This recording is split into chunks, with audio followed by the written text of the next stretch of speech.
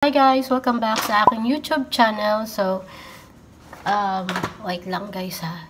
Medyo magulo. Medyo pagod lang yung itsura ko pero okay na. Okay lang yan kasi syempre mami na tayo daming ginagawa dito sa bahay. So, ito lang yung time ko para makapag-vlog dahil may gusto na naman akong i-share and to say thank you also for everyone na nag-subscribe sa aking YouTube channel. So, nakakatuwa dahil na-achieve ko na yung first na goal ko sa YouTube. So, yung second goal ko naman is maabot ko yung 4,000 watch hour. Meron na tayong kalahati na 2,000 plus na watch hour. So, tulungan nyo ako guys. Yun lang naman yung request ko na sana maabot natin yung 4,000 watch hour para naman ma-approve or ma-monetize tayo ng YouTube. Uh, so, ayun. Thank you so much sa lahat ng nag-subscribe. Kahit mali tayo na YouTuber, super thank you to everyone. As in, talagang appreciated and all. So, thank you, thank you so much. Yung topic natin today is, kung nakikita nyo sa aking thumbnail, is yung mga millennial na kasuotan. So, hindi naman asin, yeah, pang millennial talaga siya kasi nga top, top trending to sa TikTok, sa TikTok, sa Facebook or other stuff na makikita nyo online ng mga pwedeng sumayaw-sayaw. Basta yung alam mo kasi TikTok, nakikita ko kasi to, parang na-adapt kasi ng kabataan ngayon, lalong-lalo na yung sasabi, yung nakikita nyo sa thumbnail ko na picture. Na-adapt na na yung kabataan ngayon yung from, from pang, pang sa ibang bansa yung paano sila magsuot kumpara sabay sa uso kumbaga. So pero gustong gusto ko din yung itsurang ganun dahil syempre nung kabataan natin mahilig tayo sa mga ganun. Pero ngayon hindi na bash kasi hindi na kaya ng tiyan natin. Baka yung basta yung bitoka dahil wag na pilitin dahil. So yun naman yung topic natin ngayon. So, uh, pero ma'am, she, kahit, uh, kahit naman chubby or ano, something na, uh, any size naman ng katawan, pwede naman isuot yun. Basta, kasi medyo kasing ano eh, uh, may mga sizes naman yun, pero um, napansin ko, iba't uh, parang maliliit talaga siya, alam mo yun. Pero meron ding size, sizes na, depende sa design na mapipili nyo. So, ito kasi yung mga top na to, ang gaganda, ang cute, lalong-lalo nakita nyo yung suot-suot ni Catherine Bernardo, di ba ang ganda niya dun. Uh, nakakapurma-purma siya, nakakasosyal tingnan, lalo-lalo na kung marunong ko magdala ng damit. So, pang millennial siya, pasensya na kayo puro ako. So, um, pang millennial siya and then um, sabay sa uso, and then top trending sa online selling. Kasi kami mga online seller, kapag magiging online seller ka, or online selling, uh, kailangan marami kang groups na sasalihan. So, itong sasabihin ko is may group page, and then, uh, yung may group page din, merong on hand, and then for line up. Dalawa yung i-mention kong supplier ngayon, yung parehong may on hand and parehong may line up. Pero much better kung halimbawa marami kayong kukunin, uh, pwede kayong maghintay ng ilang weeks. Kasi nga worth it naman kapag uh, natapos na and na-receive nyo na yung items. Kasi nga masusunod yung gusto nyo design or print nung damit. So, much better yon kung marami kayong quantity na kukunin. And then kung hindi naman kung gusto niyo ng on hand meron on hand meron din sila. So keep on watching guys. Sundin niyo lang itong sasabihin ko mga pangalan na page na pwede niyo salihan. And then So, andito na ako sa screen, sa screen ko. So, it itatype natin yung name ng unang supplier na sasabihin ko is yung Versosa. Kasi yung name niya, yung surname niya is Versosa. Versosa. But Kier Versosa yung name niya. So, hanapin niyo siya, Kier Versosa. Tama ba yung pronunciation ko? And then, yung page niya, ito din. Yung page niya is K&A, ayan, K&A Direct Supplier. So, hanapin niyo yung supplier na yan. Yan. Yan yung page nila. Kasi nga, meron din sila for business. Ito yung page na for business nila. So, ini-scroll down ko lang. Again guys, 75 pesos each.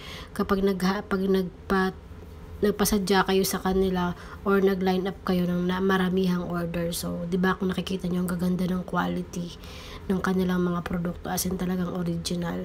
So, andyan yung razorback and then marami marami silang ino-offer na magagandang damit So, ayan, for line-up din. Karamihan kasi sa kanila for line-up. Kasi nga mura, mas mura yun kung maramihan ka naman kukuha. So, yan, legit check nyo pa rin. Legit check nyo pa rin kasi nga, di ba kahit paano, as in, at paano kayo yung makakakita. So, visit, visit nyo lang yung kanyang Facebook page and then Facebook account. Then, message nyo siya.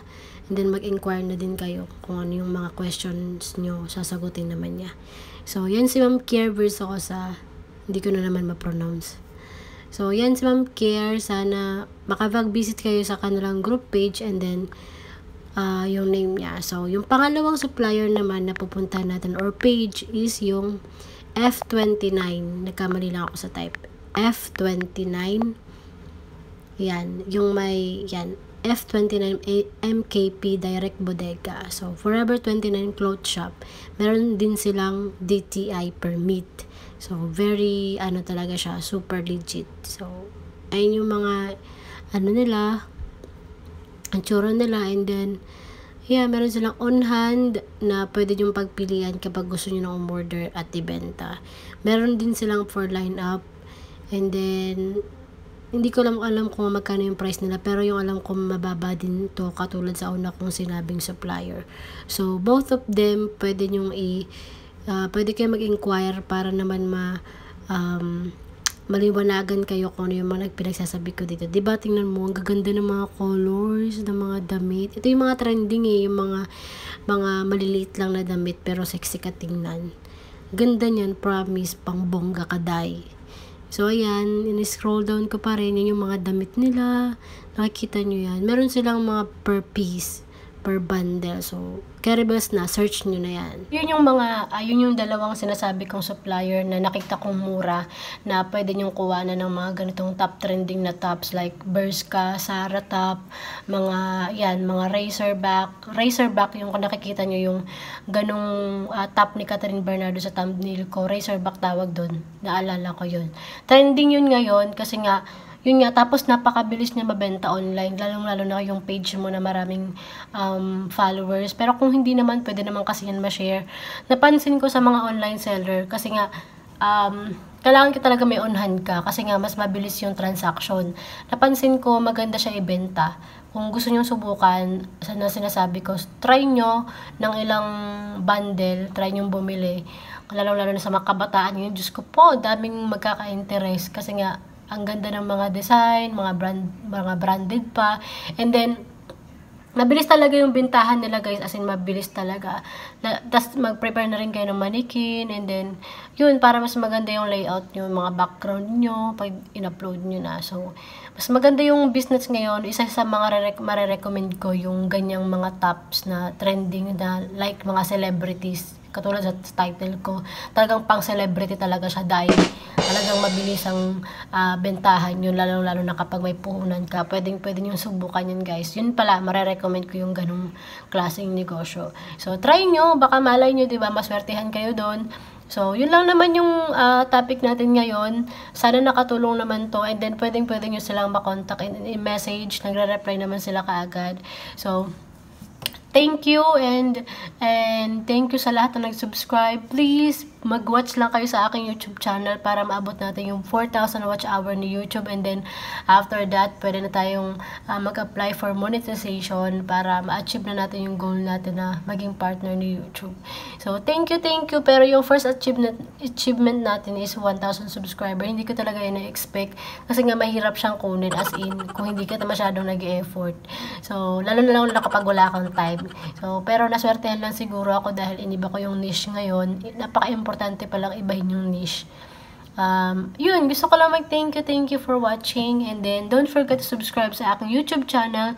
Abangan nyo pala yung aking uh, susunod na vlog tungkol naman yung sa overrun. Meron tayong mababanggit na stall, contact numbers, and then bodega. Isa yung ma magagan ma maririnig nyo bukas or the next day or other day na i-upload ko kapag may oras ako may, bodega, may bodega talaga yun. So, pwede nyo puntahan, pwede nyo tawagan to confirm na talagang legit sila. So, thank you, thank you for watching. And then, don't forget to subscribe sa aking YouTube channel. Bye-bye! Bye!